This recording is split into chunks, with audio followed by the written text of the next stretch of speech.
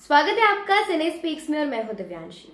निर्जा, एक नई पहचान में निर्जा को दीदून के गुस्से से निपटने के लिए मजबूर होना पड़ा है, जो एक संत के वेश में बागची घर में प्रवेश कर गई थी बुरी आत्मा को बाहर निकालने के लिए। ऐसा माना जा रहा है कि निर्जा को थोड़ा संदेह था कि दीदून संत है, वह त्रेषा के काले जादू के इस्तेमाल के बारे में भी जानती है। वह दीदून के अनैतिक व्यवहार को उजागर करने के लिए प्रतिबद्ध है। हमने देखा कि कैसे दीदून ने निर्जा को बुरी आत्मा से मुक्त करने के लिए बागची परिवार को पूजा के दौरान बैठने के लिए मजबूर किया। वही आने वाले एपिसोड में निर्जा दीदुन की दुष्ट चालों के साथ ऐसा अभिनय करेगी मानो उस पर कोई भूत प्रेत आ गया हो। वो पारंपरिक रूप से तैयार होकर आएगी और अमीजे तोमार पर डांस करेगी, जैसा कि उन पर कोई, उस पर कोई भूत सवार हो गया है।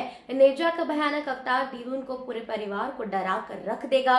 निर्जा को पता चलेगा कि दीदून बागची घराने में रहने वाली संत है। उसने सोनागाछी में दीदून के ठिकाने को जानने का प्रयास किया क्या निर्जा दीदुन को प्रकाश में लाएगी? यह देखना दिलचस्प